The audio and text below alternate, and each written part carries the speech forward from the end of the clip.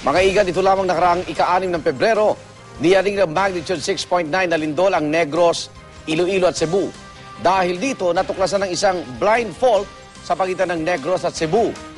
Makaraan ng ilang linggo, ilang pangyayari ang nagdulot ng pangamba sa ilang Cebuano at ang itinuturong sanhi ng naganap na lindol.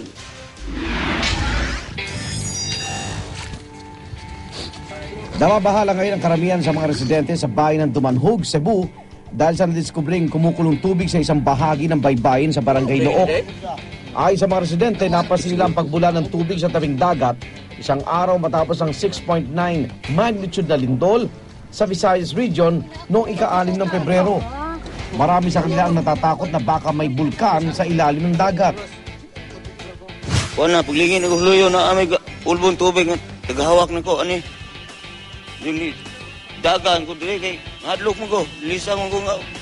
Sukad na sukad karon pa man ni ma. Itabo nga ni. Ang ilan sa mga residente na nakakita sa tipang karaniwang kaganapan, hindi na kontentong tingnan lang ang kumukulong tubig dagat. Tinikman pa nila ito.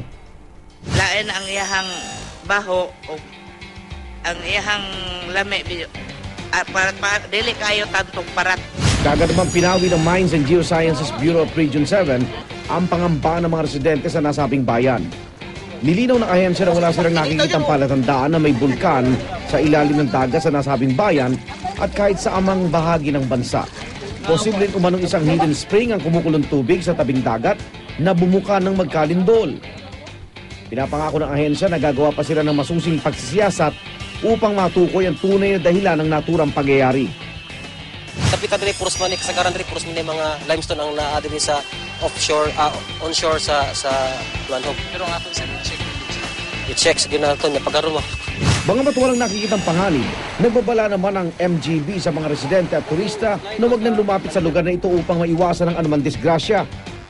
Samantala bago ito, isang sinkhole rin ang natagpuan sa naturang bayan ng Dumanhog noong nakarang biyernes na nagdulot din ng kaunting kaguluhan sa mga residente.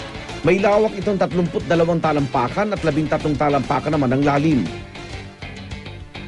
At ngayon, isa na namang panibagong butas ang kinumpirma ng MGB sa bayan ng Dalagete.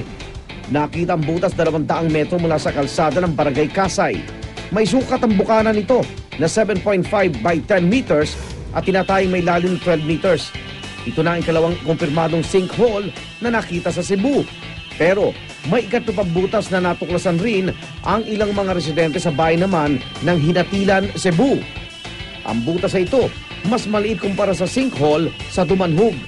Sa ngayon ay patuloy ang pagsuri sa naturang ikatlong butas kung ito nga ay isang sinkhole.